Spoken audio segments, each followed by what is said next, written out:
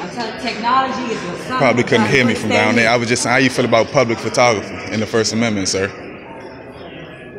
You gonna walk out? Can I have your badge and your name then? Why are you calling me? I just I thought you couldn't hear me from down there. Here for what? I'm a part of the media, and I was just wondering how you feel about First Amendment photography. Yeah, I'm here for court, man. Okay, all right, then roll out.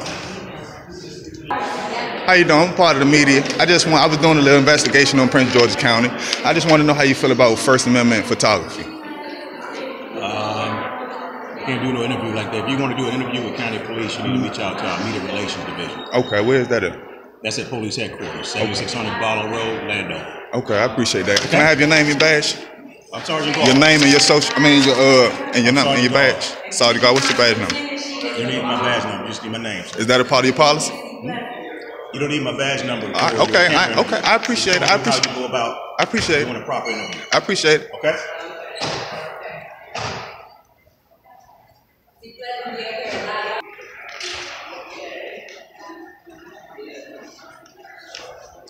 Excuse me, sir. May I have your badge and your name, sir?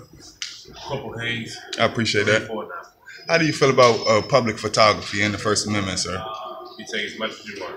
No, I'm just saying. I'm just asking. That's what I was arrested for. You can take you can take as much public photography you like. I appreciate that. I, I, I respect that. That you respect First Amendment rights. Okay, I appreciate that. You should you should tell your fellow officers that y'all should take a class because everybody don't understand First Amendment rights.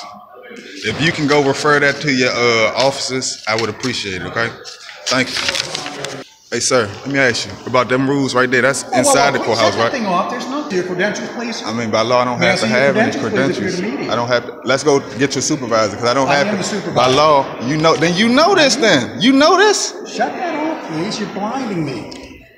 I apologize. I apologize. My fault. Is that is that okay for you?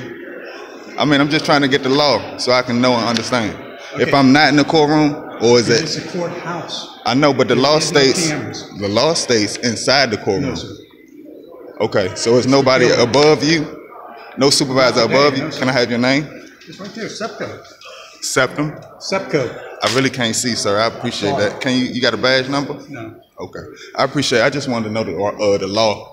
You know, police intimidation tactics, they don't work for me. And you know you committing—you know what you're not committing is domestic terrorism. Every time you come out the, every time you come out these doors, Okay. Because fine. you're coming behind us. That's the terrorist. You know Don't be a that? terrorist. That's one to five years, sir. Don't be a Caucasian terrorist. Civil Hey, sir, lawyer. stop stop working with them police, sir. You understand that, See Pleasant. You'll see it. sir? Were you coming out to uh, commit some domestic terrorism today? Can I have your name? Terrorism. Can I have your name, sir? Domestic. Please. Can I have your name? I'm trying to be respectful. Okay, all right. Order, sir.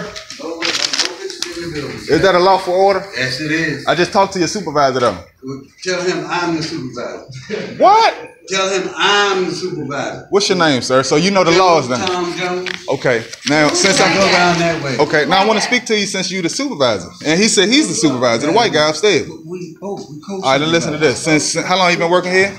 About three days. heard of this. Oh my goodness. All right, big brother. I appreciate. Can I have your name? Tom Jones. I, told I appreciate that.